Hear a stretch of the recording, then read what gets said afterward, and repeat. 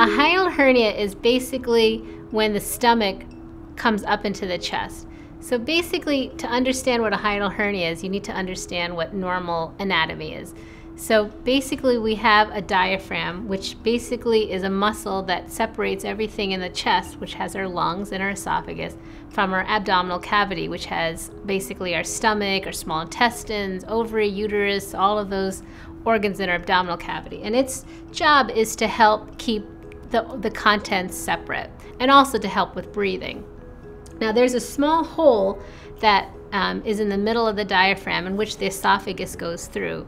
Now, if there's a small defect or a little uh, tear in that diaphragmatic wall, then the stomach can actually pop up into the chest so that you get a little bubble of the stomach that herniates up into the chest. So that's what a hiatal hernia is. And there's a multitude of symptoms that you can get afterwards, and most common is um, gastroesophageal reflux.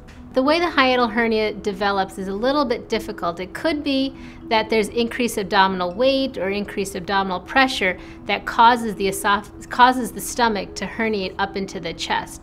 So basically, if you want to treat that hiatal hernia, we need to reduce the weight around our belly, and in worst case scenarios, we could get we could um, have surgery in order to bring that stomach back down and make that defect in the in the uh, diaphragm um, closed up.